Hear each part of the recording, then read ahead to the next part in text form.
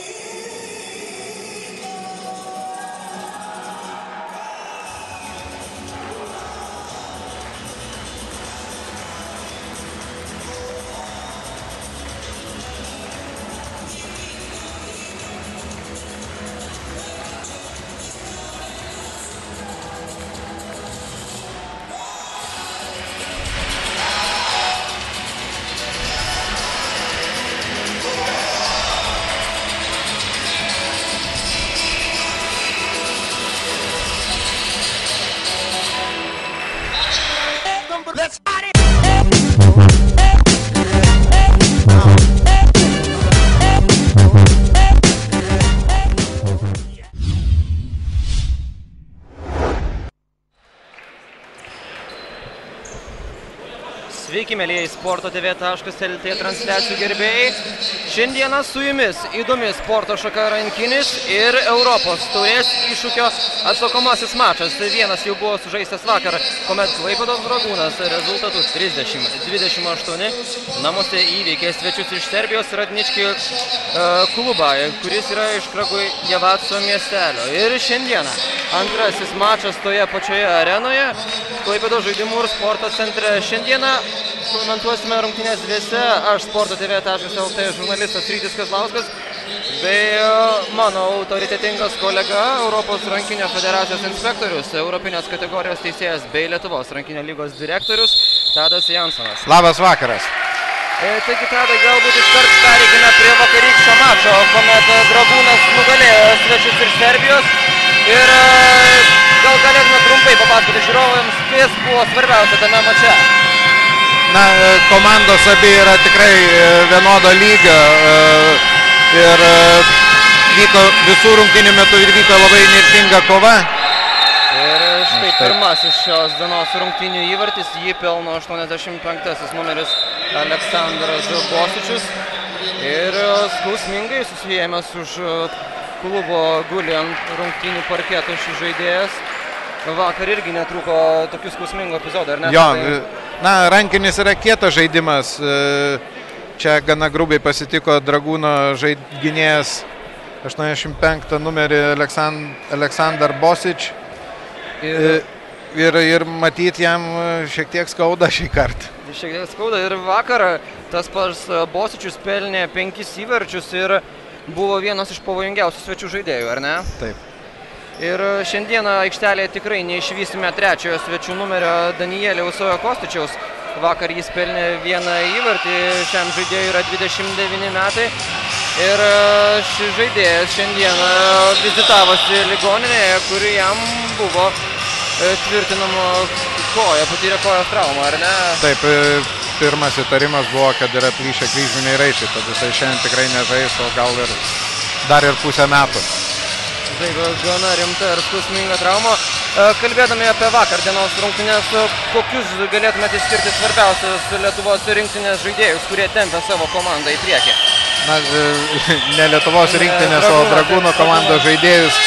Na, reikėtų pažymėti, žinoma, Joną Trukanovičių, kurio, kurio, kurio indėlis į rungtynės buvo tikrai svarus, puikiai gynėsi, puikiai gynėsi puikiai atakavo, pelnė daug įvarčių, nemažai perėmė kamolių iš pavojingo linijos žaidėjo. Jo indėlis, sakyčiau, vakar rungtynėse buvo didžiausias. Na, žinoma, vienas žaidėjas niekada nelaimė rungtynių. Buvo pagirtina kova visos komandos, tiek, tiek gynyboje, tiek polime. Manau, kad žaidėjai atidavė visas jėgas. Taigi tas pats Jonas Trukanovičius vakar pelnė aštuonis įvarčius, o atrodo, kad 85 svečių numeris Aleksandras Bosičius galės tęsti varžybas, nueina pats iki atsarginių žaidėjų solelio, tiesa reikia jam truputį atsigauti po skausmingo epizodo, taigi 1-0 pagal įvarčius kol kas pirmauja Kraguje Vaco Radnički ir Dragūnas rengia vieną iš pirmųjų savo išpolių. Trečiasis numeris Vaitkus su kamoliu, kol kas perdavinė vienas kitam kamoliui rankininkai. Štai vienas pirmųjų išpolių ir netikslė ataka. Taigi, kaip ir visada tokio svarbumo varžybose komandos atlieka žvalgybą, ar ne, rungtynių pradžioje? Na, žvalgyba, manau, jau buvo atlikta vakar. Šiuo metu tai Dragūnas atakuoja mažumoje, todėl galbūt šiek tiek vangiai, vangus veiksmai polime. Na štai puikus įvartis. Puikus įvartis 23 numeris. Valdas Griežė pelno savo pirmąjį įvartį vakar. Jis jų pelnė du, taigi atidaroma Klaipėdos dragūno įvarčių sąskaita ir serbai bandys atsakyti e, taip pat sėkmingai lietuviai išsirikiavę gynyboje. Penktasis numeris Astralisas su kamoliu. Vakar šis žaidėjas pelnė penkis įvarčius ir galima sakyti, kad šios atakos metu dragūnas pavyzdingai išsirenka žaidėjus, ar ne, Tadai?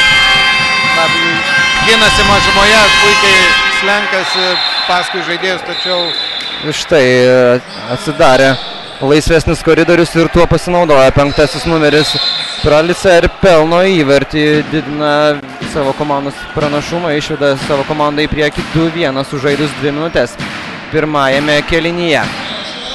Taigi vakar susirinkusi publika sukūrė tikrą pragarą svečiams iš Serbijos. Ar galima pavadinti e, čia esančius gerbėjus aštuntuoju dragūno žaidėjų?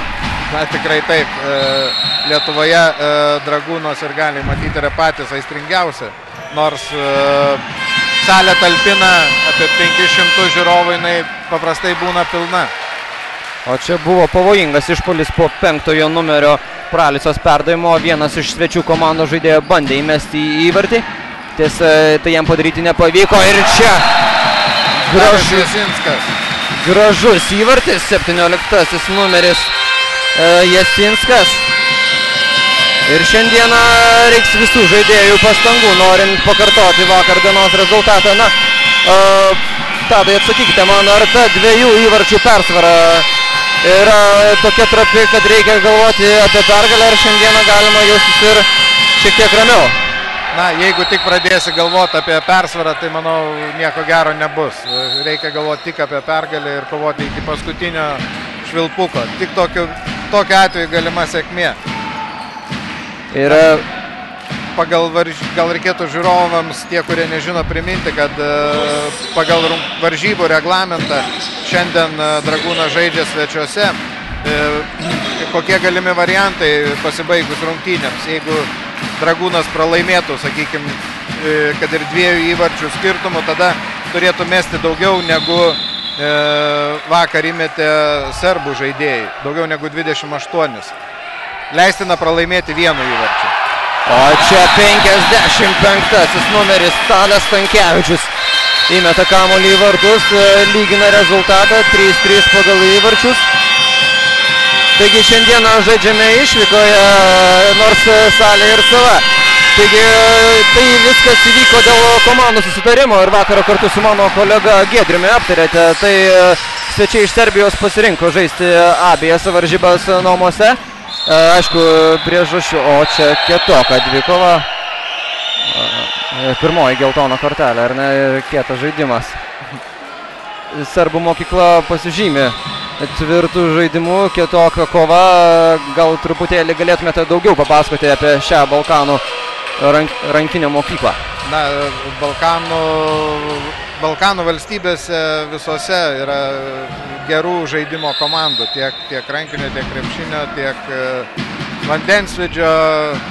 E, ir šiuo atveju, ką norėčiau pasakyti, Jonas puikiai vakar žaidė, tai aš manau, kad serbai irgi ruošia namų darbus ir tikrai ne, neleis jam taip aktyviai aktyviai atlikinėti savo veiksmų kaip vakar, todėl jisai pasitinkamas e, kiekvienu atveju vis kiečiau. Jau vos tik Jonas savo rankose turi kamuolį, iš karto prie jo šoka serbų komandos gynyba. 88 numeris perdavinėjo kamuolį su 15-oju Juška. Lietuvio ataka užstrigo. Taigi klaidelė ir Teisėjai fiksuoja žingsnius. pažįsta žingsnių taisyklė ir serbai apsigynę galės pradėti savo išpolį pirmajame kelnyje sužaistos jau penkios minutės. E, taigi šiandieną vyksta Europos e, taurės iššūkio aštuntfinalis ir laimėję e, viena iš abiejų komandų pateks tarp aštuonių stipriausių e, šio turnyro ekipų ir galbūt Tadai galėtumėte papasakoti apie tą Europos klubų sistemą. Įvartį pelno devintasis numeris Milošas Filičius. Taigi mes matome Europos iššūkio taurės turnyrą, o gal galite priminti žiūrovams, kokių yra dar Europos klubinių Europo, turnyrų. Europos rankinė federacija organizuoja keturias e, taurės varžybas. E, aukščiausio lygio yra čempionų lygos varžybos, kita taurė yra Europos rankinio federacijos EHF taurė ir e, dar dvi taurės, tau- taurių laimėtojų taurė ir Challenge Cup tai yra iššūkio taurė. O dar vienas gražus išpolis, 33 numeris. Jonas Truchanovičius primena apie save, jog ir šiandieną jis bus kaip niekad pavojingas. E, draskant svečių gynybą, pelno įvartį ir lygina rezultatą. Kol kas kieta ir lygi kova. Laisvas metimas. Ir serbai ruošia dar vieną savo išpolį.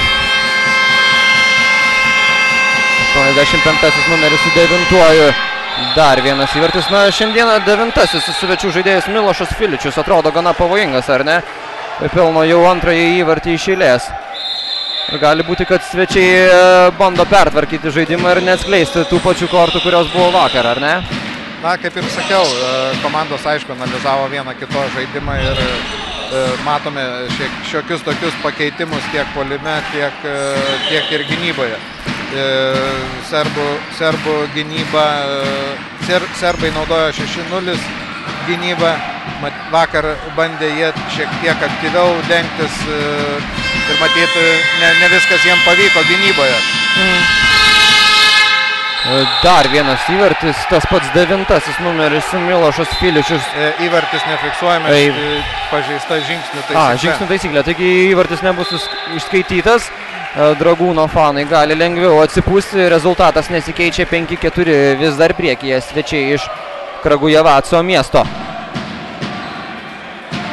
Taigi pašnekėkime apie tuos žaidėjus, kurie šiandieną negali atstovauti Dragūno ekipai. Tai yra vienas iš komandos e, nebejotinų lyderių Benas Petreikis, žaidėjas. E, Koks yra svarbus žaidėjo indėlis komandai? Jis yra kuriejas. Ar, galite, ar galėtume truputį plačiau papasakoti apie šią poziciją mūsų žiūrovams? Jūs visiškai teisingai ir pasakėte, tai yra polimo smegenis ir e, labai daug, e, daug nuo jo priklauso. Aišku, Benas yra puikus ne, ne, tik, e, situ, e, ne tik situacijų kuriejas, bet ir pats e, vykdytojas, turintis pasižyminti stiprių metimų, protingų ir tai yra didelis indėlis komandai būtų, jeigu jisai galėtų žaisti. O kaip kietai žaidžia serbų žaidėjai. Ne veltui tą užsiminėte, kad rankinis kietas žaidimas vyksta įnirtinga kova. Nei viena ekipa nepaleis pergalę šiandieną. Dar viena geltona kortelė.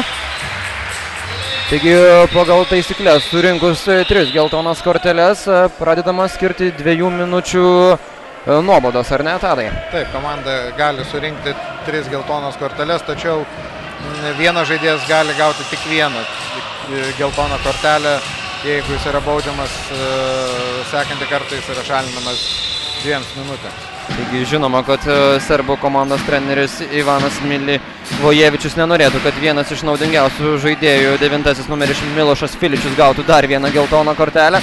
Kol kas Filičius yra pelnęs e, daugiau negu pusę savo komandos įvarčių, o čia galėjo būti pavojinga ataka. Ir taip greitas išpolis, 89 numeris. Raicevičius Ivanas pelno įvartį, greita ataka. Na, vakar e, matėte var- varžybas ir tuomet e, komandos irgi organizavo nemažai išpolių. Ir kuri komanda jums atrodė bent jau šviežesnė organizuojantas greitas kontratakas? Na, pagal e, pirmas e, sužaistas 10 minučių, e, mano suvokimu, komanda šiandien žaidžia e, truputėlį lėčiau. Vakar, vakar jos buvo tikrai e, agresyvesnės ir greitesnės rungtynės. E, tačiau e, greitas atakas realizuodavo puikiai tiek, tiek e, serbai, tiek, tiek dragūnas. Ir kaip ir matėme šiandien, 89 numeris paprastai ir būdavo greitų atakų smaigalyje ir jas realizuodavo. Taigi yra Icevičius Ivanas, žaidėjas, apie kurį užsiminėte praėjusios atakos metu pelnė įvartį.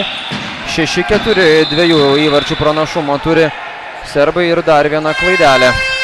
Na, klysta Dragūnas e, šio mačo pradžioje, daugiau negu tai daro svečiai. Ar gali būti, kad Dragūno kausto šiek tiek tokia psichologinė įtampa žaidžiant prieš savo, savoje publiką? Na, kai e, išretinta komanda netiek turi daug atsitraukusių žaidėjų, kurie gali mesti iš toli. E, ir prie šitos gynybos sistemos dragūnai yra sunku užpulti ir kaip matome, jų atakos klimsta e, serbų gynyboje. Ir minutės pertraukėlės prašo lietuvių komandos treneris Artūras Juškienas.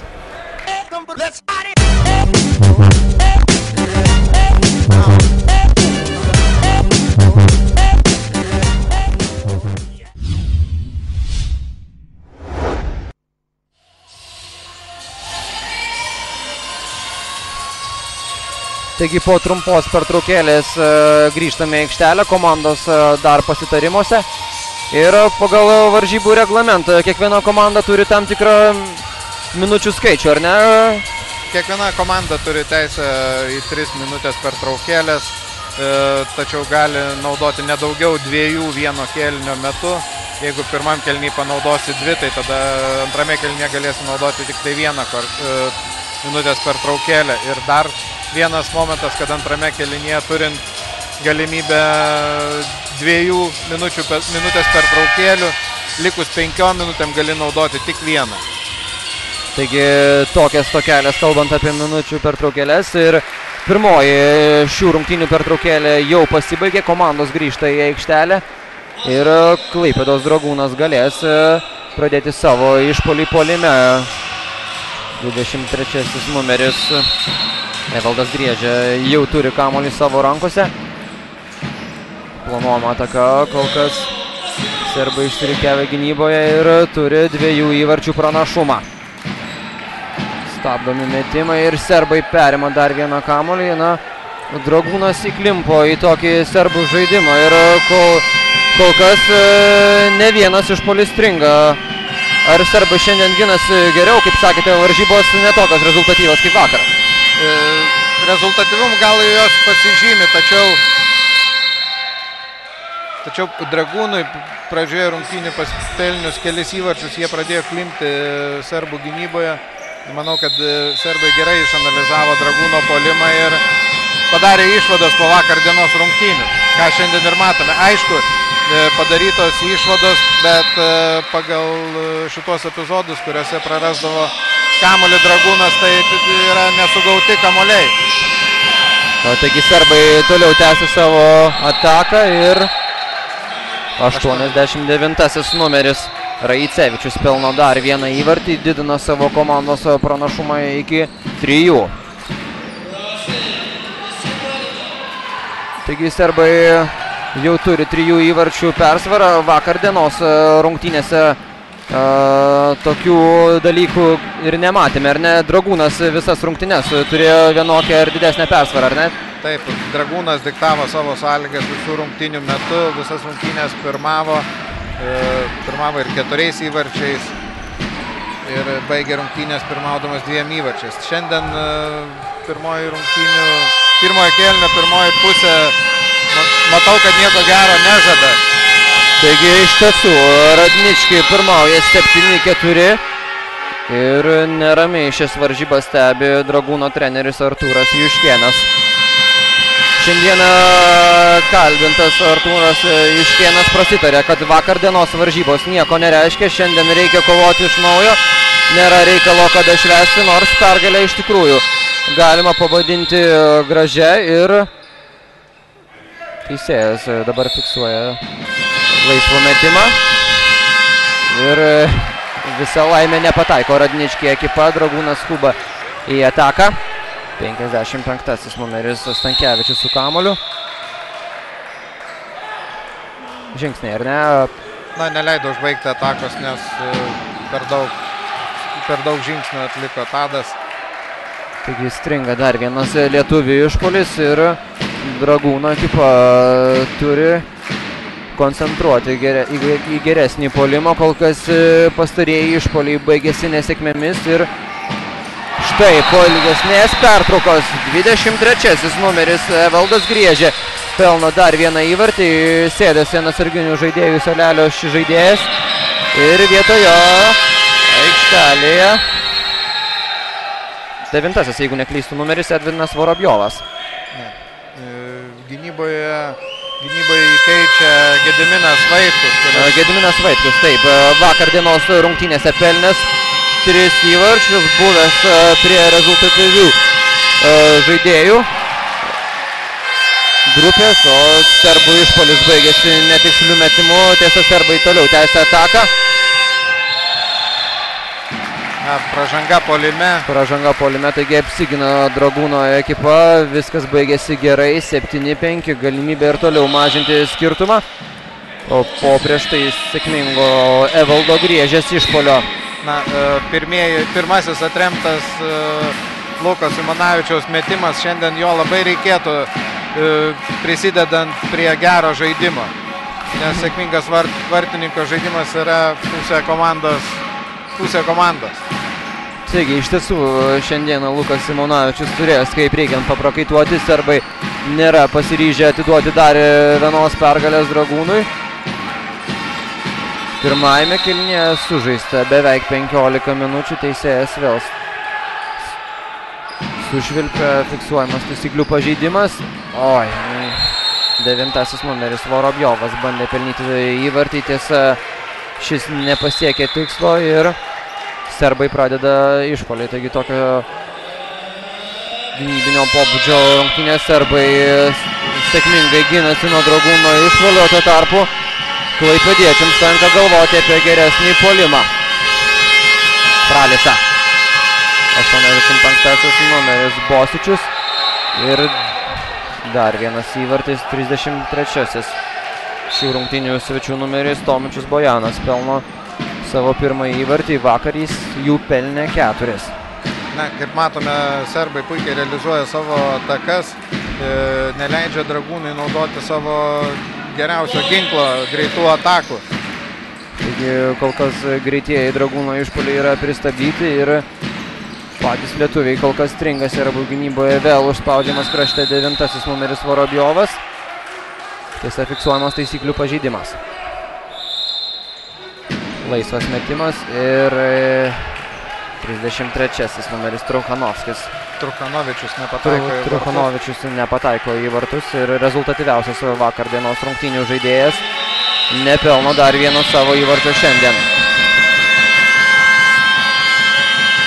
Taigi serbų komanda kol kas laimi šios dienos rungtynės ir galima trumpai užsiminti apie serbų pasiekimus šių metų Europos klubų turnyruose čempionų lygoje. Stipriausiame Europos rankinio klubų turnyre žaidžia Belgrado partizanio ekipa. Antrame pagal pajėgumę turnyre Europos rankinio taurėje žaidžia Vaivodinos klubas, o šiame turnyre Europos iššūkio žaidžia du serbų klubai. Tai Kragujeveco Radnički ekipa, kurią jūs šiandien matote. O teisėjas neįskaito įvarčio. Ne, įvartis yra įskaitomas 9-5. Ir dar vienas klubas, kurio nepaminėjau, tai Spartakas Vojputas, kuris irgi rungtyniavo šio sezono Europos iššūkio taurėje, tačiau iškrito jau pirmajame etape. Taigi keturių taškų persvara ir Dragūno šiekioje tokia dobėje, ar ne, Tadai? Taip, keturi įvarčiai, minus keturi įvarčiai, tai nėra gerai. Ne, kaip ir kaip ir minėjau, nesiseka dragūnui užpulti. Na štai pagaliau. Pagaliau nutraukiama tyla ir devintasis numeris Vorobjovas. Pelno įvartį, mažina savo ekipos deficitą iki trijų. Ir sužaista 18 minučių pirmajame šių rungtynių kelinėje. Pralica kartu su 85 numeriu Bosičiu perdavinėja kamuolį, stengiasi artėti prie dragūno ekipos vartų. Vėl Bosičius ir pražanga prieš Bosičių. Po nesėkmingo Luko Simonavičiaus vartininko žaidimo treneris atliko keitimą. O, apmaudi e, ataka, mums apmaudi, serbams žinoma sėkminga, 85 numeris Bosičius pelno įvartį. Ar galime šį įvartį pavadinti vartininko Simonavičiaus klaida? Na, čia gero lygio žaidėjai turi didelį metimo arsenalą, puikiai atliktas metimas, klastingai kamuolys atšoko priešais vartininką ir į viršuti, pataikė į viršutinį vartų kamputį. Ir šiandieną nežaidžiantis Benas Petreikis, kuris yra traumuotas komandos žaidėjas, o tuo tarpu griežia pelno e, savo komandai dar vieną įvartį, mažina savo ekipos deficitą iki to paties trijų įvarčių. Taigi šiandieną nežaidžia Benas Petreikis ir aikštelėje matant tokį vaizdą susidaro, kad ypatingai trūksta šio žaidėjo uh, Artūro Iškėno komandai. Na, iš tikrųjų trūksta šito žaidėjo, bet uh, kaip matome, kai kiti žaidėjai, žaidėjams nelabai sekasi pelnyti įvarčių, tai šiandien taip, taip pavyksta padaryti Evaldui Griežiui. Jis jau pelnė tris įvarčius. Taigi Evaldas Griežia stengiasi inicijuoti geresnį savo ekipos polimą, pelno įvarčius ir neleidžia serbams pagalvoti apie didesnę negu keturių įvarčių persvarą. Filičius kol kas vienas iš rezultatyviausių savo ekipos žaidėjų. Dar vienas pavojingas serbų išpolis, Filičius ties kairiuoju kraštu. Ir čia nieko nepešė, serbai turi grįžti į gynybą. Puikiai gynyboje žaidė Dragūnas šios atakos metu ir būtų gerai, kad jie taip žaistų kiekvienos. Pražanga. Na, štai, ko gero geriausia savo gynėją pastatė priešais Joną ir Jonas net, neturi daug laisvės šios dienos Taigi, rungtynėse. iš tikrųjų, Jonas Truchanovičius šiandien atrodo išjungtas iš e, polimo schemų. Prieš jį sėkmingai gynasi serbai. O čia yra pirmosios aistros. Ramina 89 numeris Raicevičius, viena iš Dragūno komandos žaidėjų, 23 numeris Zoranas Nikoličius turėjo ką pasakyti Dragūno komandos nariui. Visą laimę nekilo rimtesnių incidentų ir nesirado traumuotų žaidėjų nežaidimo metu. Truchanovičius. Šio žaidėjo įvartis, rankininkas pagaliau prisimena, jog puikiai pelno įvarčius, taikliai meta įvartus ir pagaliau iššauna po ilgesnės pertraukos 10-8. Matome šiokį tokį dragūno spurtą, ar ne? Taip, džiug- džiugu matyti, kad Jonui, Jonui pasisekė šitas metimas, e, nes metimai iš, iš toli labai reikalingi šiuo metu. Minutės per traukėlės prašo e, Radničkai Kragujevats komandos treneris. Ivanas Milivojevičius. Taigi minutės pertraukėlė.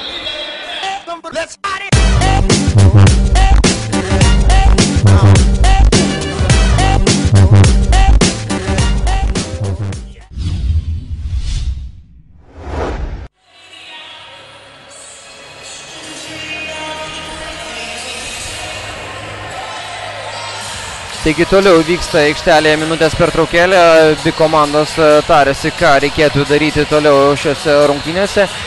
Ir e, galbūt galime trumpai rezumuoti tą sužaistą pirmąją, didesnėje pirmojo kėlinio dalį. Ką manote, Jonai, apie šiuo metu aikštelėje vykstantį žaidimą? E, va- Palyginus rungtynės, kaip ir minėjau, su vakar dienos rungtynėmis, matosi, kad žaidėjai e, vakar rungtynėse atidavė žymiai e, e, labai daug jėgų. Šiandien rungtynės truputį nervingesnės ir, sakyčiau, truputį lėtesnės negu vakar. Ir- atsi- atsiliepia nuovargis, ar ne, po Truputį vakar? atsiliepia nuovargis ir matosi atlikti namų darbai. Sakyčiau, visai protingai atlikti namų darbai serbų komandos trenerių. Dragūnas nelabai turi ir e, ką naujo ir pateikti, žinant e, traumuotų žaidėjų sąrašą. Na, o gynyboje e, prieš augalotus e, serbus reikia gintis aktyviai. Taigi, iš tikrųjų, vakar dienos rungtynių pradžią galėjome pavadinti ir, e, kaip sakėte, žvalgyba, kadangi abi ekipos e, ne ką pažinojo viena, viena kitą, ar ne? Taigi, gali, gali būti, kad vakar iššovė netikėtumo faktorius, o dabar per 12 numerio Šarūno Mičiulio komandos vartininko kojas yra įmetamas įvartis ir 11-8 laimi Kraguje Vaco Radnički ekipa. na, reto grožio įvartis pasiektas, taip vadinamas oras. Ir e, dar plus e, tai, kad e, serbų komanda puolė mažumoje.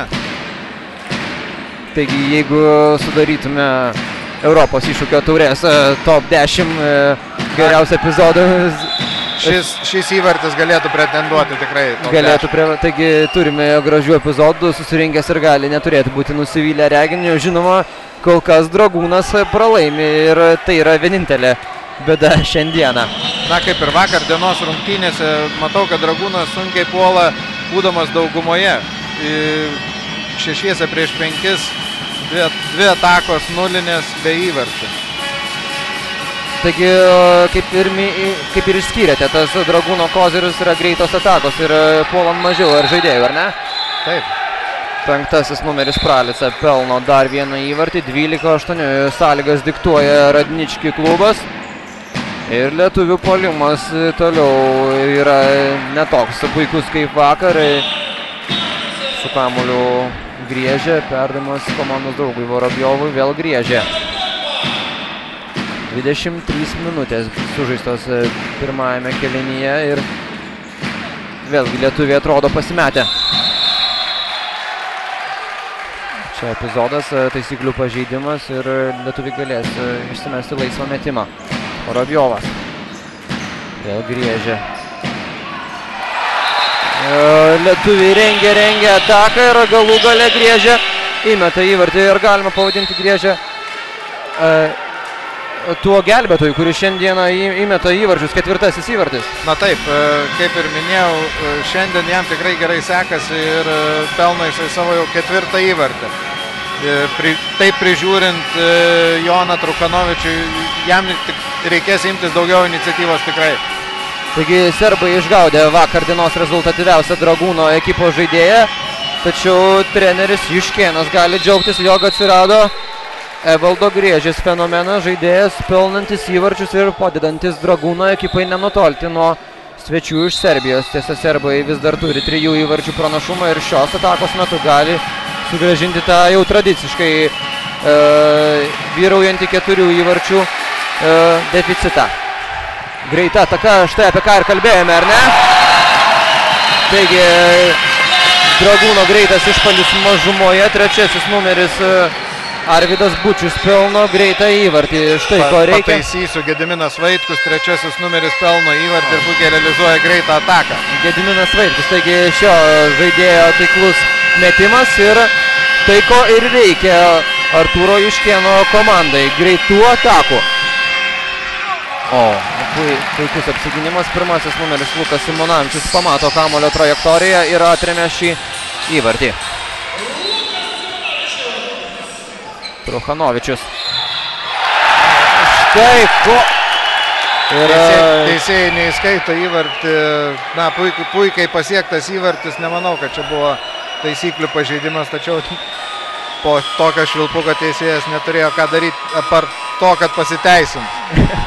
teisėjas e, e, tą ir daro ir dabar e, bus laisvas metimas, ar ne? Taigi buvo labai graži ataka ir Evaldas Griežė galėjo pasiekti galbūt ir gražiausią šių rungtynių epizodą. Na, įvartis buvo tikrai gražus. Ir tenka apsiriboti laisvų metimų, Dragūno ekipa tęsia savo ekipos išpolį. 25 minutės. Tiek yra sužaista šiame kelinė.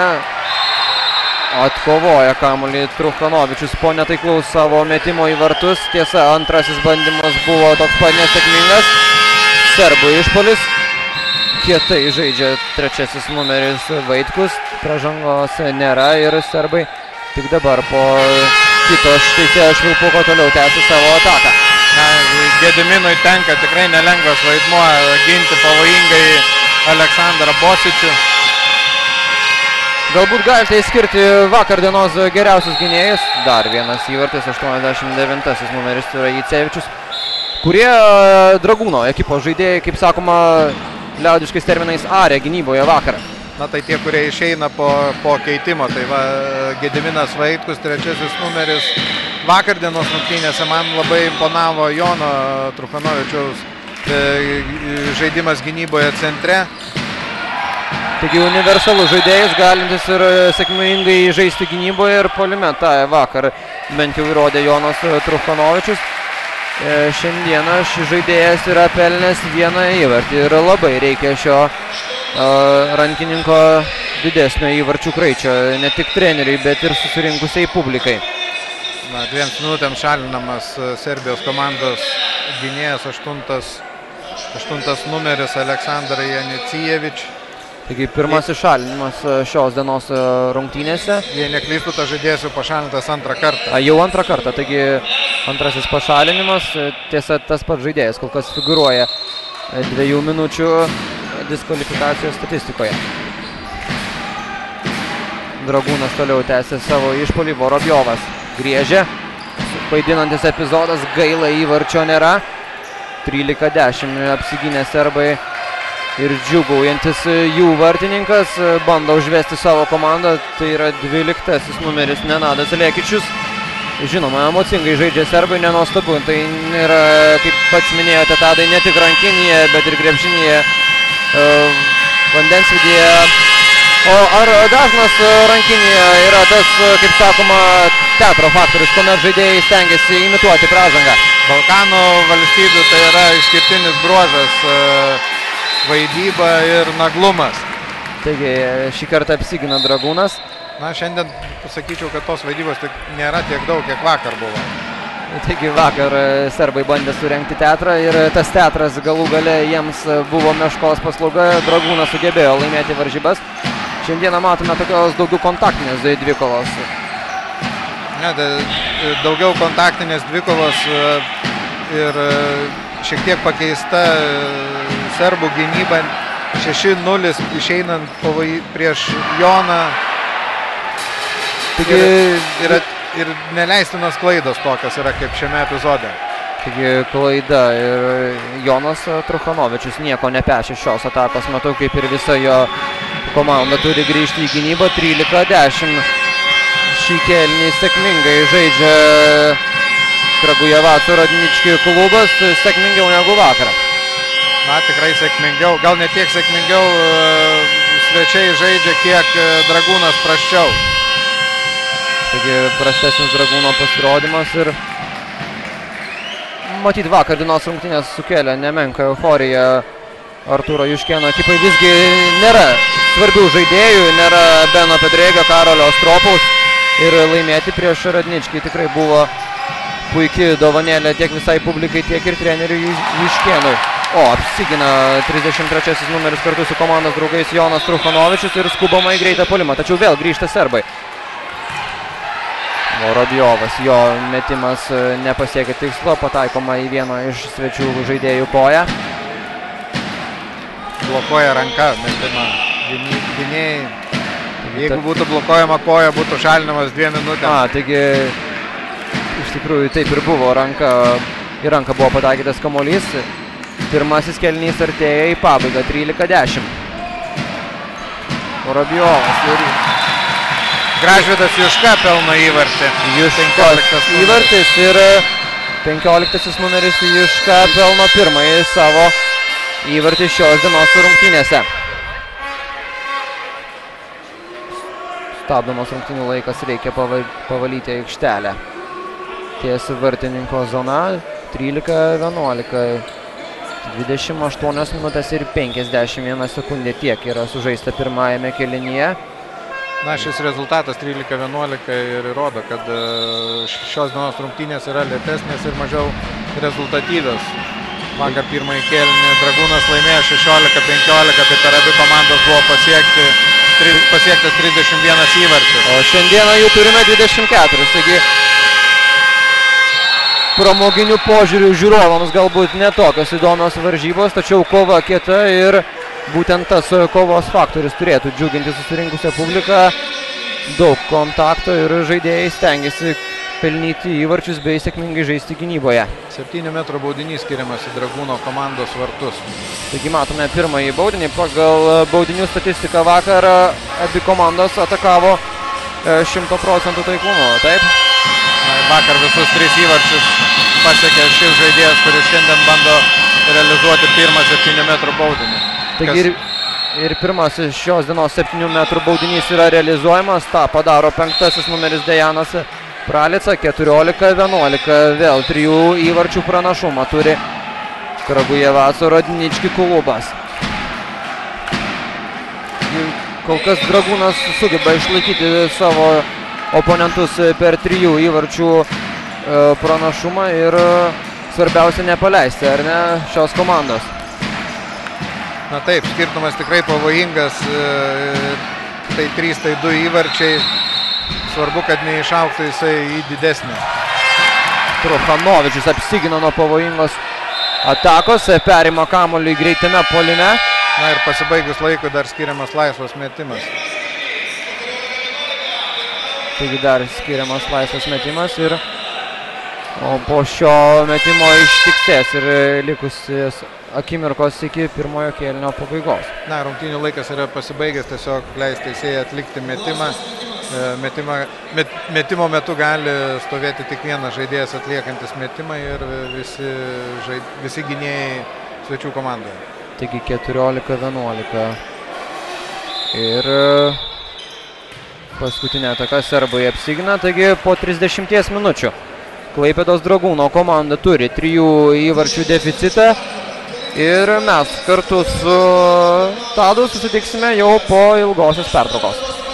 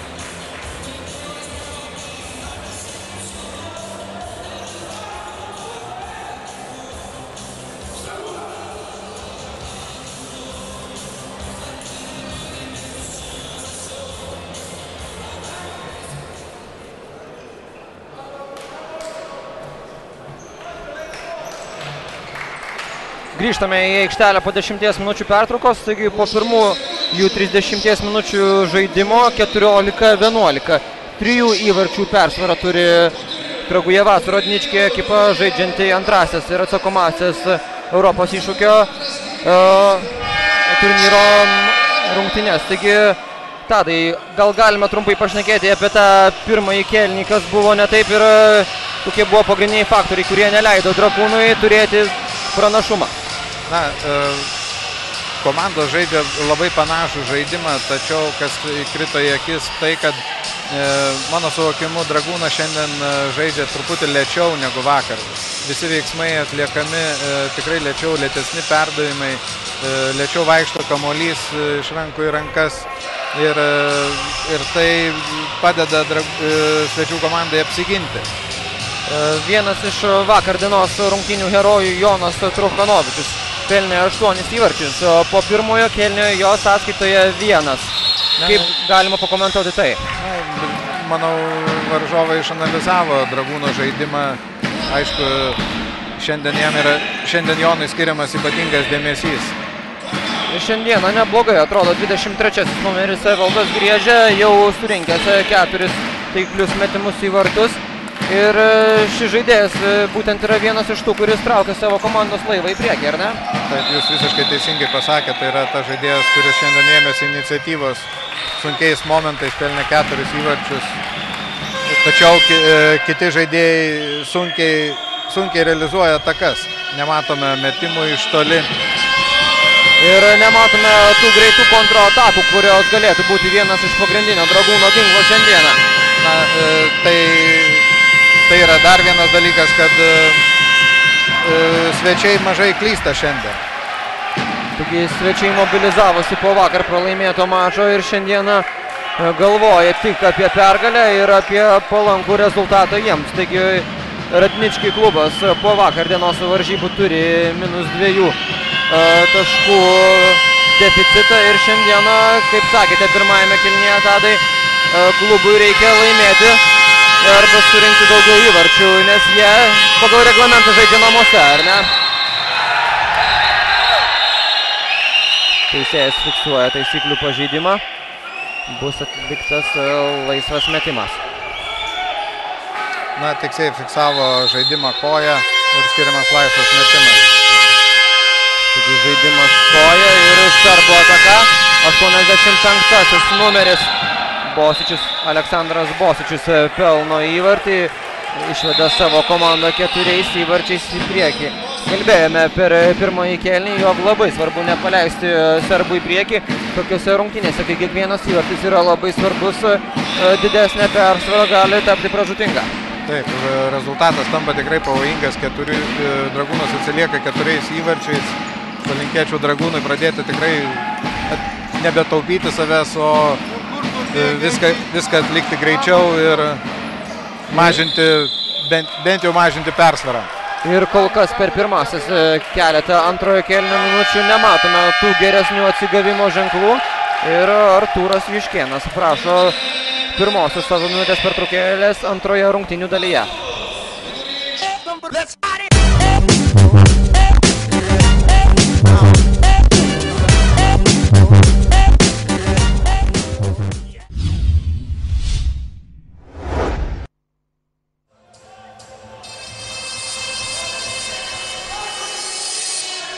Taigi trumpa pertraukėlė baigėsi. Tiesa, varžybos e, dar negali būti pratęsos komandos e, tarėsi. Iki minutės pertraukėlės pabaigos lieka apie 25 sekundės. Ir e, prieš tai kartu su Lietuvos rankinių lygos direktoriumi Tadu Jansonu šnekėjome, jog labai svarbu nepaleisti serbų ekipos į priekį. Rezultatyvumas šiandieną nėra tas ginklas, kurio vakar pasižymėjo abi ekipos.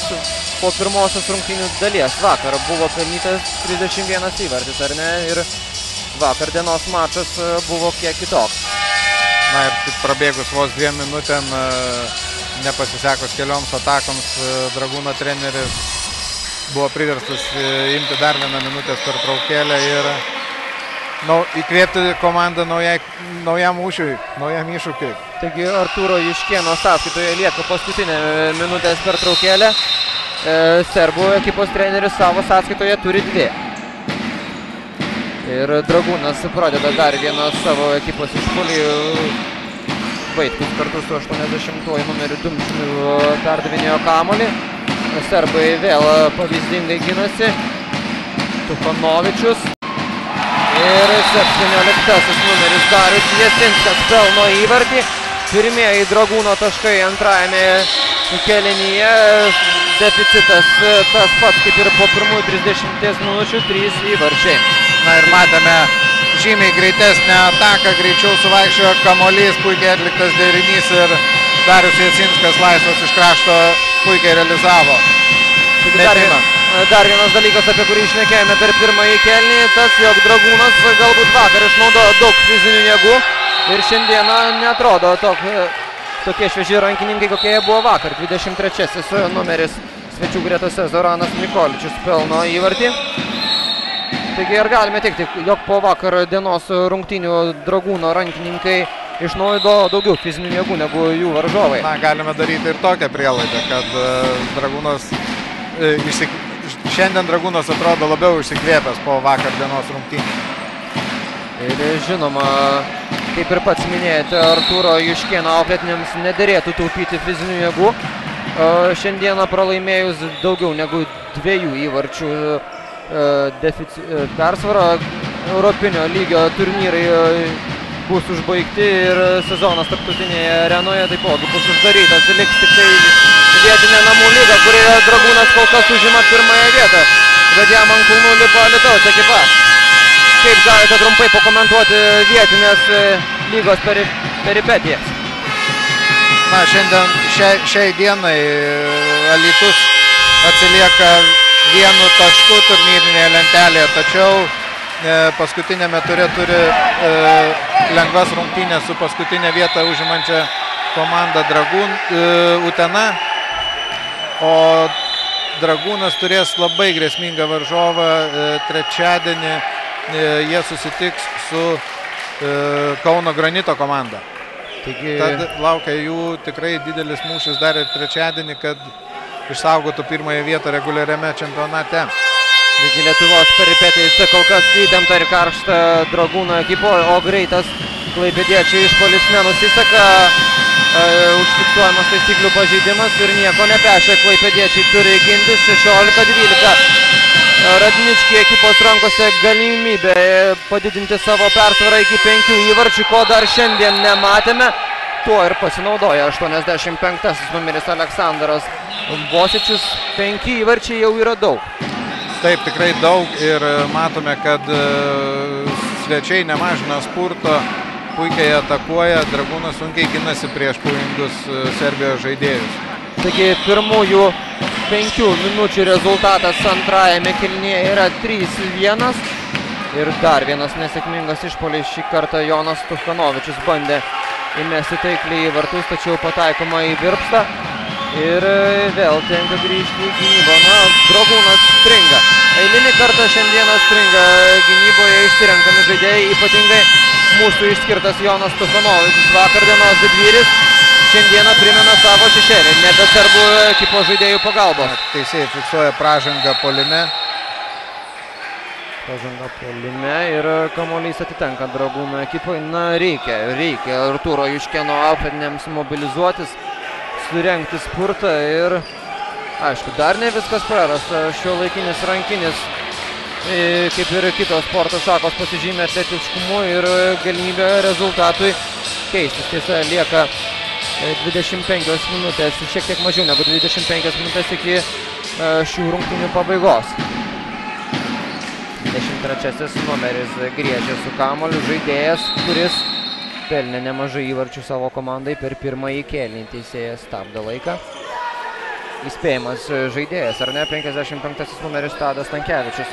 Na, matyt gavo iš alkūnės į, krūtinę, tai yra skausmingai ir e, tai, atlikę serbai, tai atliko serbai teisėjams nematant ir e, dėl to Tadas labai, labai pergyvena.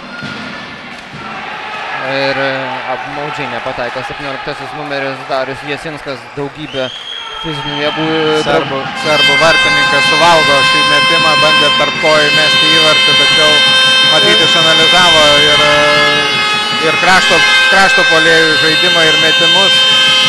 Ir puikiai užsivedė serbų vartininkas. Taip, būtent tą norėjau pasakyti 12 numeris Nenadas Lekičius vartininkas. Serbai pelno dar vieną įvartį. Taip padaro 89 numeris Ivanas Rajicevičius ir švieslentėje dega nepadarus rezultatas 18-12. Čia dar viena klaida. Pražanga polime ir vėl su kamoliu serbai. Pražanga polime, serbai toliau kontroliuoja šių rungtynių vadžią savo rankoje. Šešių įvarčių deficitas, labai daug, jeigu penki įvarčiai ir mes jau skambiname pavojos varpais, ką jau kalbėti apie šešis, serbai toliau gali didinti savo persvarą, rengia dar vieną išpolį ir susirinktas tribūnos kaukia. Vakar buvo žymiai daugiau progų džiaugtis, reikia palaikyti mylimą komandą, kad ir kas jai benutiktų ir serbai po truputio sustojimo vėl tęsia savo ataką. Perimo kamuolį. 15 numeris e, Gražvidas Juška. Žaidimas stabdomas. E, Iš karto buvo sustabdytas Juška. Nebuvo galimybė surenkti greitą išpolį. O būtų labai reikėję greitos atakos ir pelnyti tą įvardį, kurio labai trūksta. Abipusis pašalinimas teisėjai šalina Dragūno komandoje 10 numerį Kestutį Kremerį ir e, svečių komandoje 23 numerį Zoraną Nikolič. Apsižodžiavo žaidėjai ir jisai nusprendė raminti aistras ir pašalino abu žaidėjus.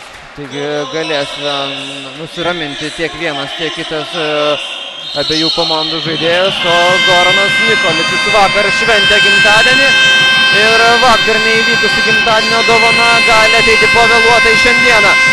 Žinoma, draugūno rankose visos galimybės užkirsti tam kelią. Dar vienas taisyklių pažeidimas.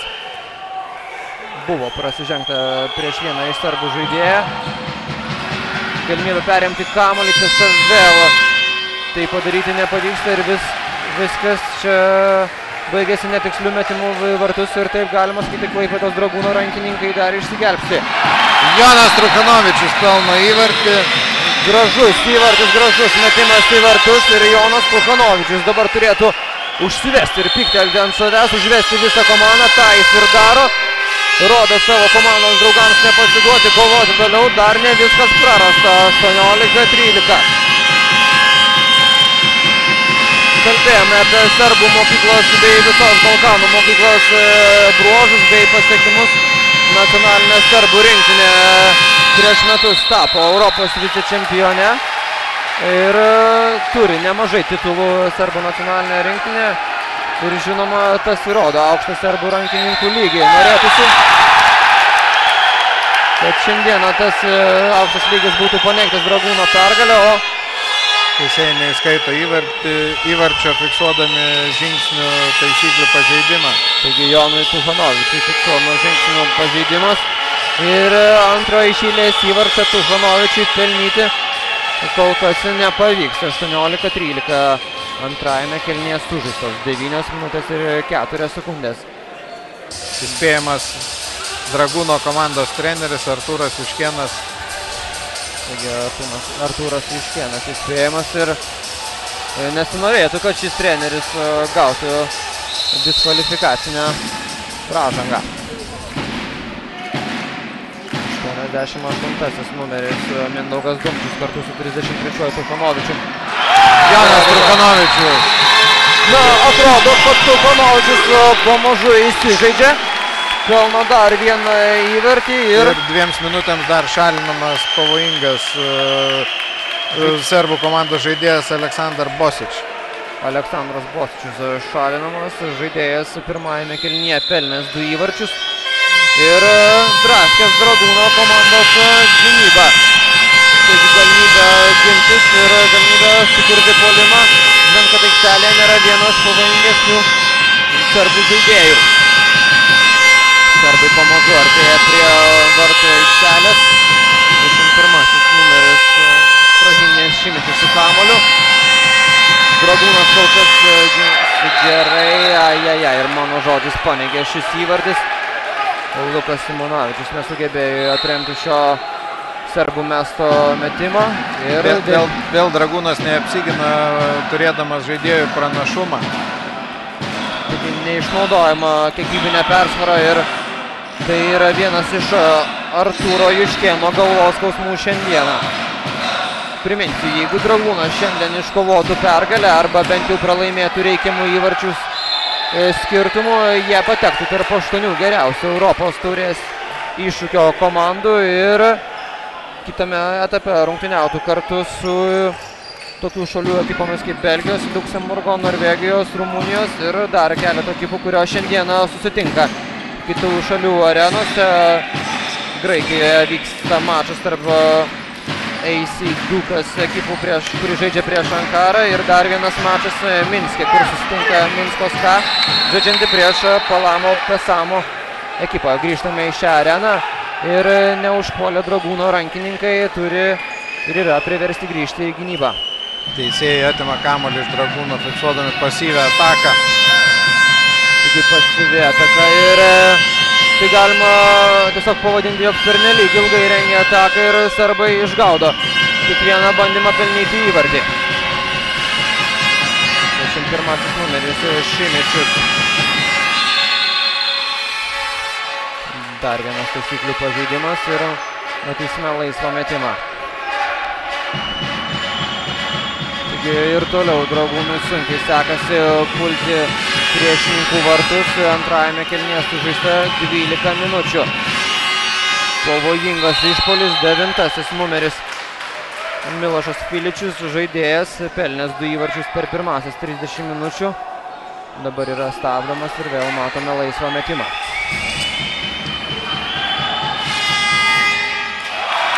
Šį kartą 16 numeris Audrius Mankus sužaidžia puikiai gindamasis nuo serbų komandos metimo į vartus. Apgina savo ginamą vietovę, o 15 numeris Gražvydas Juška dabar nesugeba įmesti ir bent jau sumažinti savo ekipos deficitą iki keturių. Taigi kol kas e, sulėtėjusi antrojo e, kėlinio stadija ir komandos nesugeba užpulti. Tai žinoma palanku serbams, ar ne? Taip, ir e, turėdami geras galimybės pelnyti įvartį, e, pelnyti įvartį klaipėdiečiams nepavyksta e, pasiekti įvarčių. Na, ir reikėtų pažymėti, kad e, puikiai gina vartus tiek vienas, tiek kitas serbų komandos vartininkas. Taigi toks susidaro įspūdis, jog serbai primeta lietuviams savo žaidimą, ką sėkmingai darė lietuviai vakar e, priešingai serbų ekipai. Na, teisėjai šalina serbų komandos žaidėją už e, neleistiną veiksmą polime ir atima kamolį. Tai retas atvejis rankinėje yra toksai, e, tačiau jeigu taip ir įvyko, tai puikiai, e, puikiai pamatyta neleistini serbų veiksmai. Taigi teisėjai neleidžia grupiai žaisti serbų ekipai ir fiksuoja, kaip pats sakėte, tadai ir tokius rungtynių veiksmus, kurie gana retai pasitaiko rankinėje. Vorobjovas. Kupanovičius perdamas į kairį kraštą, ten e, šiokia tokia sumaištis ir viskas baigėsi dar viena klaida. Kol kas nutilusios ir e, tribūnos, netoks palaikymas, kokį matėme vakar. Na taip, e, Dragūnas vakar žaidė, žaidė šiek tiek geriau, pelnė daugiau įvarčių ir žiūrovom buvo žymiai smagiau žiūrėti. Ir, na, kiekvienas pasiektas įvartis paprastai užveda, užveda žiūrovus, o šiandien mes matėme Dragūno sąskaitoje tik 14 prabėgus 43 minutėm. Priminsiu, jog po pirmojo kelnio vakar Dragūnas pelnė 16, taigi suprastėjęs puolimas ir žinoma, serbai irgi dar nėra įjungę penktosios pavaros, tačiau toks e, kilimas į kalną kol kas palankus jiems ir klampus žaidimas, į kurį įvėlė serbai ir lietuvius. Na, serbų, serbų komandos treneris e, prašo minutės per traukėlės, tai pažiūrėsime, ką nuspręs rungtynių inspektorius. Taip, minutės per traukėlę skiriama ir kamuolys liks serbų komandos Taigi susitiksime po keletos akimirkų. Let's party.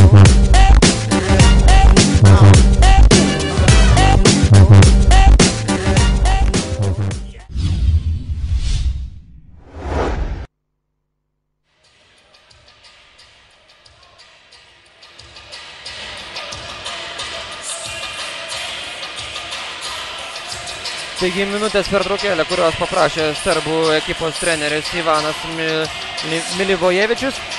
Ir e, šiam treneriui taipogi lieka viena minutės pertraukėlė, kaip ir lietuvių ekipos strategui Artūrui Juškėnui. Na, Dragūno situacija tai yra, tikrai yra grėsminga ir e, ši, šios atsakomosios rungtynės vyksta e, ne taip rezultatyviai kaip pirmosios, tad dviejų įvarčių pranašumo e, serbų komandai pa- pakaktų, pakaktų, kad patekti į kitą rungtynių, į kitą varžybų etapą. Tad e, Dragūnui reikia tikrai spurtuoti ir e, mažinti skirtumą ir iki, iki minimumo juos tenkintų vieno įvarčio skirtumas. Galbūt tam ir dabar yra palanki proga, kadangi pastaruoju metu ir serbų ekipa nebeužpuola priešininkų vartų ir lietuviams reikėtų pasinaudoti tuo. Na taip, matome keletą taktinių gudrybių iš serbų pusės išliejimas vanduo ir prašoma pa, pavalyti grindis, taip dar labiau mušamas tempas. E, Na, nešvarus e, Balkanų žaidimėliai tęsiasi. Vakar minėjote, jog e, buvo nemažai momentų, kada serbų ekipos žaidėjai demonstravo ir vaidybinius veiksmus, o dabar įmamasi ir kitokių taktinių gudrybių. Išliejamas vanduo, stabdomas rungtinių tempas, ką ir pats sakėte.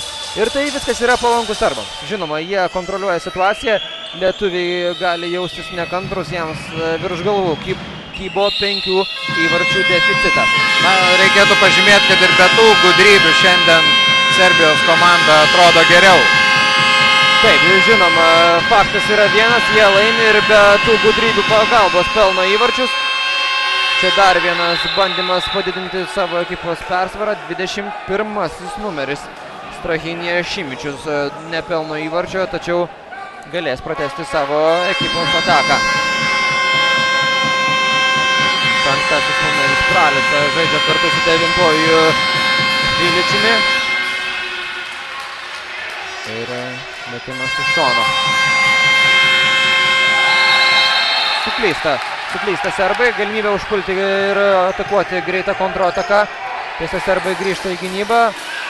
55 numeris Tadas Tankievičius pelno dar vieną įvartį. Šiandieną jis jų yra pelnęs du. Vakar atliko penkis tikslius metimus ir reikia, kad atsigautų ir šis žaidėjas. Vienu metu atrodė, jog ir atsigauna ir kitas lietuvių lyderis Jonas Stufanovičius. Šiandieną jis yra pelnęs du ir toli nuo savo pasiekimo aštuonių tikslių metimų. Na, serbai, serbai žaidžia pilna sudėtimi ir pelno įvartį penktas numeris Pralica. Taigi Pralicai įmeta dar vieną tikslų metimą ir dabar lietuvių rankose galimybė atsakyti tuo pačiu. Vėlgi, serbai, kaip ir minėjome, primetė lietuviams savo sąlygas. Antrajame kelnyje sužaista 15 minučių, o pagal antrojo kelnio rezultatą dabar jau yra 6 5. Taigi, Žil- E- Evaldas e, griežia pelno įvartį. E, Žaidėjas kilęs iš Varėnos, šiandien matyti jo diena, jau jo penktasis įvartis. Taigi griežia po ilgesnės pertraukėlės. Primena apie save, pelno įvartį, reikia šio rankininko didesnių pastangų, nes šiandien jis atrodo geriausiai savo ekipoje. Na, žaidėjas pataiko vartininkui į veidą. Skausmingas epizodas, žinoma. Ir dabar ant e, rungtynių aikštės parketo guli vienas iš o, dragūno ekipos vartininkų. Čia pat pribėga ir vienas iš serbų žaidėjų. Na, čia ta žaidėjas pribėgo atsiprašyti. Kaltininkas, kur- kuris kaltininkas metė. epizodo ir žinoma, tai yra žaidiminė situacija ir nieko čia nepadarysi. Na, rankinėje yra baudžiama tik tai vienu atveju, kai vartininkui pataikoma į galvą, tai atliekant 7 metrų baudinį. Jeigu vartininkas nejuda į kamolį ir e, puolėjas pataiko jam į galvą, tai yra diskvalifikuojamas raudona kortelė. Na, o čia žaidybinė situacija, vartininkas buvo judesys. Taigi 85 numeris Aleksandras Bosičius e, tikrai nebus šalinamas už šį epizodą. O Dragūno ekipos vartininkas Audrius Mamkus panašu, kad gali tęsti rungtynes ir Jis vėl stovi ir stebi savo ekipos puolimo. O susirinkusiai e, į Klaipėdos e, areną stengiasi palaikyti savo ekipą ir reikia, reikia susiimti dragūnui ir dabar arba niekada. Sužaista 16 minučių antrajame kilnyje. Tohanovičius e, nesugeba įmesti dar vieno įvarčio. Su, sunku Jonui e, ir matome keletą gudrybių iš e, serbų pusės teisėjų nepastebėtų. Na, nelengva dalia šiandien Jonui. Taigi Jonas Sasanovičius matėme sunkiai kyla nuo parketo, žinoma, fizinės jėgos e, šio rankininko rezervuose nėra visiškai pilnas ir priminsime, kad e, šiokių tokių mikrotraumelių turi Artūro Juškėno e- ekipa ir e, prieš mačą kalbėjome apie Joną Tuchanovičiaus traumą. Šis žaidėjas už keletą savaičių turi, e, jam turi būti atlikta operacija, ar ne? Pėties operacija. Taigi savo sprendimu žaidėjas nutarė padėti ekipai. Įrodoma didžiulis e, valios ryštas ir šiandieną Tuchanovičiaus indėlio labai reikia Dragūno ekipai. Edvino Varavjovo nesėkmingas metimas. Vėlgi puikus e, serbų komandos 16 numečio, numerio vartininko Petrovič žaidimas ir serbai vėl polime. Taigi šiandien serbų vartininkai ne tik puikiai rungtyniauja gynyboje, bet dar atlieka komandos motivatorių vaidmenį, užveda savo komandą. O penktasis numeris Dejanas Pralica pelno įvartį ir Pelna savo jau šeštą įvartį. šeštą įvartį. O čia netiksli lietuvių ataka ir 17 numeris. Darius Jasinskas nesugeba pelnyti įvarčio. Taigi dar vienas sėkmingas žaidimas gynyboje iš Krakoje Vasarodniški ekipos pusės. Na, laikas ne, neleistinai bėga tolyn, lieka 12,5 minutės, 5 įvarčių skirtumas palankus serbams. Nenumaldomai bėga laikas, mažas artėja į pabaigą. Ir mes kartu su Tadu laukime to spurto, kurį turėtų inicijuoti Klaipėdos Dragūno ekipa. Arba bent jau sumažinti skirtumą iki minimumo, kas irgi būtų teigiamas rezultatas šiandieną. Na, reikia naudotis progą, užpulti greitai. Tačiau vėl. O 33 numeris Jonas Tuchanovičius gula ant parketo. Iš šio taško puikiai matosi rankininkas.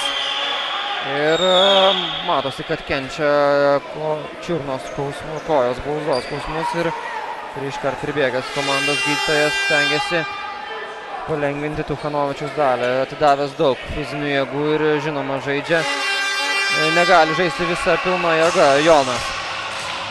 21-16 ir lieka kiek mažiau negu 12 minučių ir panašu, kad Tufanovičius gali tęsti mačą.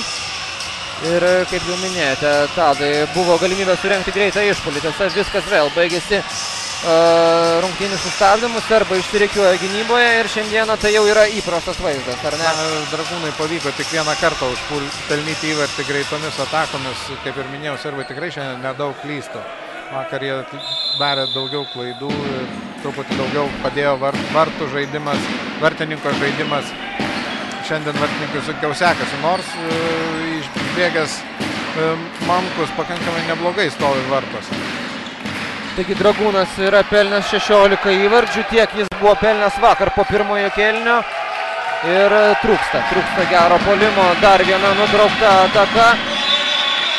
Laikas ir toliau nėra mūsų sąjungininkas, reikia apsiginti ir artėjame prie rungtynių kulminacijos. Pralica pradeda dar vieną ataką, viskas vyksta gana panašiai. Iš centro atakuodamas Pralica pelno įvartį ir didina savo ekipos pranašumą iki šešių įvarčių, kas yra rekordinis šiandieną pasiekimas serbų gretose. Na, galbūt galime kalbėti apie šiokius tokius taktinius kitimus iš Artūro Juškėno komandos pusės. Visgi reikia kažką tokio įnešti. Na, net, net tiek daug yra žaidėjų ant atsarginių uh, suolelio, kurie pilnaverčiai galėtų pakeisti dabar žaidžiančius. Vienas iš retesnių epizodų. Pataiko 88 numeris Mindaugas Dumčius. Šis žaidėjas pelno savo pirmąjį įvartį.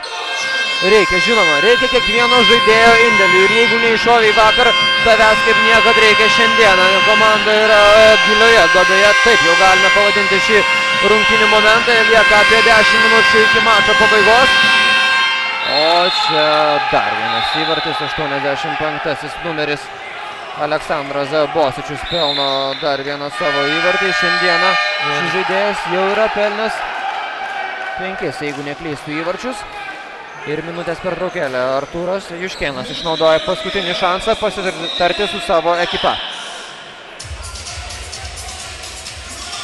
Taigi Artūro Juškėno paprašyta paskutinę minutės per traukėlę galima pavadinti, jog dabar arba niekada. Na tikrai, dabar arba niekada, e, jei nepavyks dragūnui sportuoti, tai tolimesnius planus Europos taurės varžybose teks atidėti kitiem metam. Taigi kitiems metams e, puikiai pastebėta. E, Šeši įvarčiai. Ar e, pats manote, jog toks deficitas yra įmanomas atlošti per likusį laiką? Na, gerai žaidžiant yra įmanoma viskas. Vakar likus keturio, 40 sekundžių matėme net keturias atliktas atakas, o čia dar turime beveik... e, Marės laiko pagal vakar dienos e, rungtynių standartus. Na, tikrai. E, Taigi 23-17 ir e, ištiksėjo visas Artūro Juškėno minutės per traukėlės klaigas. Įdomu, ką strategas turi paruošęs e, e, Nedoro savo tiesioginiam oponentui Ivanui Milivojevičiui. Žinoma, reikia, reikia susijimti. Ne viskas yra prarasta. Reikia bent jau pelnyti penkis įvarčius ir neleisti, jog e, Kragujevaco Rodničkė ekipa pelnytų daugiau negu 28. Taigi Dragūnas išsirikiuoja, polime grįžta ir 23 numeris Evaldas Griežė. Žaidėjas, kuris rezultatyviausias, e, rezu, žaidžia rezultatyviausiai Dragūno komandoje, pelnęs penkis įvarčius. Vorobjovas taip pat ir Griežė, taigi perdavime kamolį. Matome ir Joną Tukanovičių. Žaidėjas nekartą griuvo ant parketo, o čia stabdomas laikas. Teisėjas paprašo nesiginti aikštelėje, nesiginti vartininką aikštelėje. Ir laisvų metimų pradeda dar vieną savo išpolį Dragūnas. Tufanovičius perdoda kamolį Dumčius! Dumčiui ir šis pelno įvartį. Taigi Dumčius žaidžia sėkmingą atkarpą, du iš eilės sėkmingi šio rankininko epizodai, minus penki. Dar ne viskas prarasta, lieka apie devynės ir kiek daugiau e, minučių. 23-18, įtampa auga ir žinoma, reikia žaisti sėkmingai gynyboje. Šiokie tokie atsigavimo požymiai ir polime ginasi 55 numeris Tadas Tankievičius kietokai prieš Bosičių. Fiksuojamas taisyklių pažydimas ir atliekamas laisvas metimas. Dėl Bosičius Tuchanovskis. Dabar e, keičiasi dragūno rankininkai, kurie stabdo Bosičių.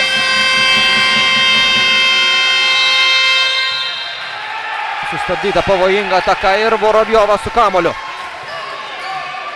Kol kas nemato atsidengusių komandos draugų, pagaliau tai pavyksta Dumčiui. Trečiasis numeris Gediminas Vaitkus nepelno įvarčio. Skiriamas 7 metrų baudinys baudinys. komandos vartus. Taigi 7 metrų baudinys, pirmasis lietuvių gretose e, šiandieną. Vakar lietuviai realizavo visus keturis 7 metrų baudinius, kuriuos fiksavo teisėjai. Tuo tarpu serbai vakar atliko 3 7 metrų baudinius. Na, pa, paskirtas pirmasis 7 metrų baudinys ir e, sako tai, kad e, šiandien Dragūno komanda netaip agresyviai žaidžia kaip vakar. Taigi tiksli pastaba Vorobjovas e, nesunkiai pelno įvartį realizuodamas šį 7 metrų baudinį. Iš 6 taškų deficito lieka 4. Turime dar 8 minutės vilties kartu su visais susirinkusiais ir galiais ne tik šioje arenoje, bet ir prie monitorių.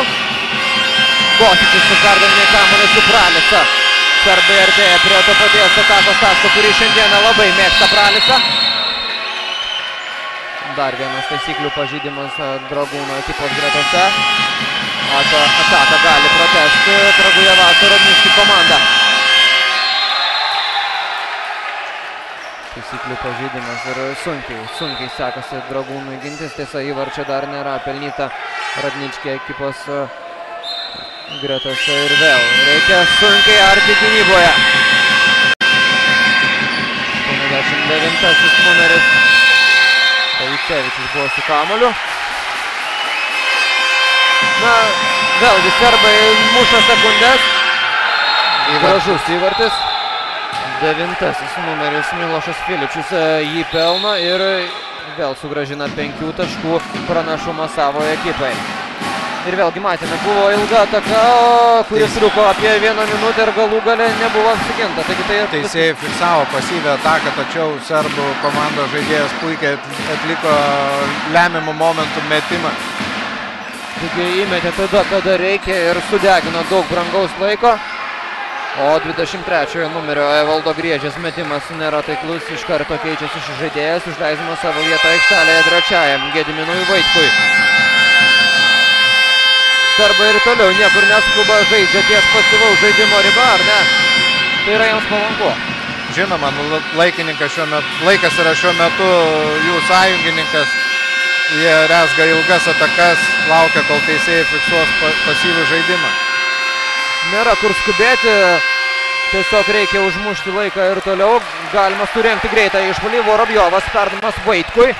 Šis Tuchanovičiui, Tuchanovičius artėja prie pavojingo taško. Ir 55 numeris. Tadas Tankievičius pelno įvartį. 23 svečių numeris. Doranas Nikoličius. Meldžia aukščiausiojo pagalbos polime, tačiau buvo atlikta puikiai lietuvių ataka, 24-20 lieka apie 6 minutės iki mačo pabaigos. Vėl tas pats keturių taškų, e, keturių įvarčių deficitas. Kol kas niekaip nesugeba išlipti dragūno rankininkai iš to užburto keturių įvarčių deficito. Na, e, Dragūnas dabar rizikuoja, dengiasi labai aktyviai, 1-5. Teisėjai fiksuoja pražangą polime. kokios aistros. Gediminas Vaitkus kartu su 23 numeriu Zoranu Nikoličiumi susistumdo apsižodžiavimas. Tiesa, manyčiau, kad tas pats Zoranas Nikoličius pademonstruoja šiek tiek ir vaidybos. Na, teisėjai e, užfiksavus pražangą polime, teisingas sprendimas iš teisėjų pusės. E, e, Atėmu, atimant kamulį, teis, žaidėjų yra neleistina laikyti kamulio, jisai turi jo paprasčiausiai neliesti ir leisti žaidėjams išsimesti, atlikti laisvą metimą ir pulti. Taigi dar viena iš taktinių gudrybių. Taip, e, na, Nikoličius bandė imituoti neleistiną Dragūno komandos veiksmą, atimti iš jo kamulio, bet e, manau, kad teisėjai tikrai pas, įvertino teisingai šitą situaciją ir pašalino iš aikštelės. Visa laimė, kad teisėjų, teisėjų brigada iš Graikijos fiksuoja palankų sprendimą Dragūno ekipai. 23 numeris Doranas Nikoličius privertas stebėti savo ekipos žaidimo nuo atsarginių žaidėjų solelio, jis pasikeitė. Čia vos nesuklysta Jonas Tuchanovičius perduodamas kamuolį kartu su Vorobjovu. Ajajaj, nepavyksta Dumčiui pelnyti dar vieno įvarčio. Šis žaidėjas antrajame kelnyje yra vienas iš aktyvesnių dragūno ekipos rankininkų. Petrovičius suvalgo šitą metim, klastingą metimą, bandė Dumčius įmesti, pelnyti įvartį, paleisdamas kamuolį tarp kojų, tačiau tai perskaitė vartininkas. Lieka kiek mažiau negu penkios minutės. Išlieka tas pats keturių įvarčių deficitas ir galime konstatuoti, jog žaidimas sustoja. Nei viena, nei kita komanda ne, nebeužpuola. Matome tiesiog uh, kietą kovą ir uh, galbūt ir viena ir kita ekipa jau stinga fizinių jėgų. Na, va čia matėme tikrą serbų vaidybą, kai bandė imituoti smūgį į veidą, parkrito, tačiau Teisėjas perspėjo vieną iš uh, serbų ekipos žaidėjų da- daugiau taip nebedaryti. taip, nes e, priešingų atveju jisai gali būti vėlgi pašalintas iš aikštelės. Ne pirmas e, būtų kartas 85 numeriui Aleksandrui Bosičiui. E, Aktyvi serbų manipulacija veiksmais aikštelėje kol kas nepasiduoda provokacijams ir teisėjų brigada iš Graikijos. Tuo turi pasinaudoti Dragūnas, reikia e, sėkmingų įvarčių polime, sėkmingo žaidimo, kol kas gynyboje serbai sustabdyti, tačiau lygiai taip pat sėkmingai gynyboje kol kas žaidžia ir e, šios dienos priešininkai. Na reikia, reikia greitos atakos. Vorovjovas su kamoliu. Mažumoje dabar puola lietuvių rankininkai. Tuchanovskis. Vėl Tuchanovičius. Tuchanovičius su kamoliu ir Voravjovas. Taip. Pelno šį žaidėjas įvartį, skirtumas mažėja iki... O kas ten guli ant parketo. Serbų vardininkas tikriausiai nusivylęs šiuo žaidimu gynyboje. Orovo Vorovjovas vėl sukelia didžiulės aistras čia Klaipėdos uh, arenoje. Lieka trys įvarčiai, na ne taip jau ir daug, buvo šeši. Dar vienas rungtynių laiko stabdymas. Serbų žaid, pašalintas žaidėjas grįžta į aikštelę, tad jėgos įsilygina ir serbai tęs savo ataką turėdami pilną sudėtį.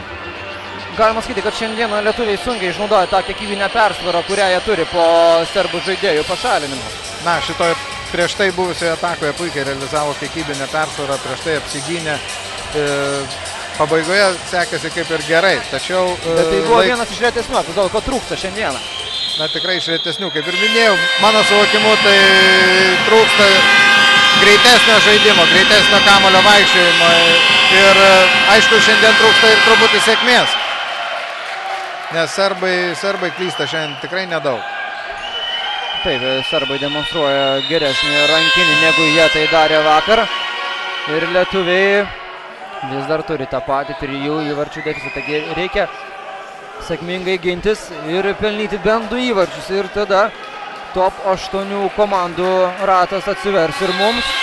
Klaipėdos dragūnų ekipoje prieš rungtynės kalbintas Artūras Viškėnas prasitarė jo klubui, tai būtų geriausias pasiekimas jo istorijoje. Prieš rungtynės ir mes kartu su Tadu apžvelgime geriausius Lietuvos klubų pasiekimus nuo nepriklausomybės laikų. Ir tai būtų vienas iš geresnių pasiekimų Lietuvos klubų istorijoje nuo 1990 metų. Čia toliau aistros nerimsta, laikas negailestingai dega Dragūno komandos nenaudai, serbai galės pratesti savo ataką. Įvardį pelno Pranica. Pralica, Dejanas Pralica pelno dar vieną įvardį, šiandieną jis jų pelnęs. Yra Septynis. septynis įvarčius daugiausiai savo ekipoje, žaidžia labai sėkmingas rungtynes, kaip ir vakar jis buvo vienas iš trijų rezultatyviausių savo ekipos rankininkų. 25-21 reikia, reikia sėkmingų įvarčių. Toks gražus devintojo numerio Edvino Vorovjovo metimas į vartus, antrasis iš eilės sėkmingas šio rankininko epizodas žaidime. 25-22. Na, Dragūnas stoja, kyla į lemiamą kovą, matau, kad e, rizikuoja du žaidėjus, ima asmeniškai, dengia asmeniškai. Ai, ai, ai, ai, ai, ai, 89 numeris Ivanas Rajicevičius. Na, žu, žudo Dragūno viltis. Šis žaidėjas keturi įvarčiai lieka mažiau nei dvi minutės. Taigi kalbėjome, jog vakar Dragūnas rungtynių pabaigoje per 40 sekundžių sugebėjo pelnyti keturis, bet panašu, jog šiandieną labai sunkiai rinkdami įvarčius Dragūno ekipa tolina mintis nuo sėkmingos rungtynių pabaigos šiandieną. Viena minutė ir 30 sekundžių vilties. Dar tiek lieka. Uh, pajūrė ekipai. Viskas nėra prarasta, tačiau su tokiu žaidimu, kokį demonstruoja šiandieną Arturo Juškėno auklėtiniai. Na, Vis- čia šiandien gali išgelbėti tik stebuklas. Tik stebuklas, taip. Ar jo taps Vorovjovas? Perdavimas 15 numeriui Gražvidui Juškai. Viskas baigėsi netikslė ataka ir rungtynių švieslentė. Toliau negailestingai dega e, serbų ekipos naudai, o 16 numeris Dušanas Petrovičius vienas iš svečių komandos vardininkų džiugauja ir minutės pertraukėlės. Prašo Ivanas Milivojevičius.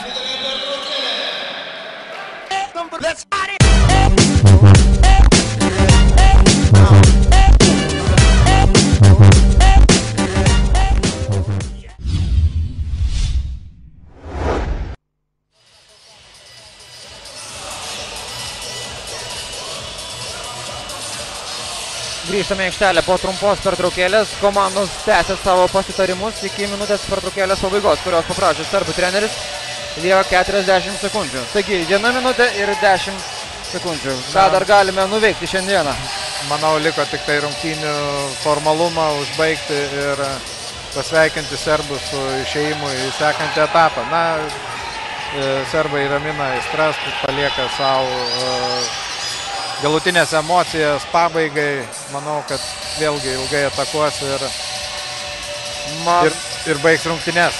matome ir trečiąjį numerį Danielių Kostičių, kuris uh, užveda savo komandos žaidėjus ant atsarginių žaidėjų salelio. Priminsiu, jog vakar šis žaidėjas patyrė traumą ir negali šiandieną rungtyniauti. Teko apsilankyti ir vienoje iš Klaipėdos ligoninių šiam žaidėjui. O serbai rengia dar vieną išpolį ir pagal šios dienos rungtynių tendencijas šis išpolis turėtų vėl būti ties pasyvaus žaidimo riba. Serbo ataka 89 numeris atsiduria vienas prieš vartus ir vartininką pelno lengvą įvartį. Tai buvo Ivanas Rajicevičius. Ir tai galbūt yra paskutinis, vienas iš paskutinių vinių į Klaipėdos dragūno karstą šiame tarptautinėme Europos klubų turnyre. Darius Jusinskas peržengė liniją, e, vartininko metimas. Ir įvartis, e, kuris visgi įkrito į vartus, nebus suskaitytas. Serbų ekipa jau džiūgauja apsikabinimai prie atsarginių žaidėjų salelio. Nu ką, dragūnui lieka 20 sekundžių tarptautinėme Europos rankinėje. Galima surenkti dar vieną greitą pasnę ataką. Gražus perdavimas 15 numeris. Gražydas Iška e, pelno vieną iš paskutinių, paskutiniųjų dragūno įvarčių 27-23. O ir čia paskutinė serbo ataka džiaugiasi 21 numeris Traginė Šimičius. Jo džiaugsmas turi pagrindą. Ekipa laimi, taigi Kragujevazo Rodnički komanda švenčia pergalę 27-23 prieš Klaipėdos dragūno ekipą. Na, reikia padėkoti Klaipėdos Dragūno komandos žaidėjams e, už ryštą. E, Manau, kad, e, nemanau, kad jie netidavė savo jėgų, tačiau reikia pripažinti, kad Serbijos komanda šiandien tikrai buvo pajėgesnė. Ir palinkėti sėkmės kitose tarptautinėse turnyruose Dragūno komandai. Taigi šiandieną didysis rankinis jau baigėsi. Linkime jums, mėlyje, išlikti su kitomis sporto tv.lt transliacijomis. O su jumis rungtynės komentavęs Rytis Kazlauskas atsisveikinu. Priminsiu, jog su manimi kartu šiandieną buvo Europos rankinio federacijos inspektorius, Europinės kategorijos teisėjas, Lietuvos rankinio lygos direktorius Tadas Jansonas. Ačiū Tadai už e, puikią pagalbą šiandieną. Sėkmės visiems. Noriu priminti, kad rankinis tai kietas žaidimas. Dėkui, viso gero. Let's party!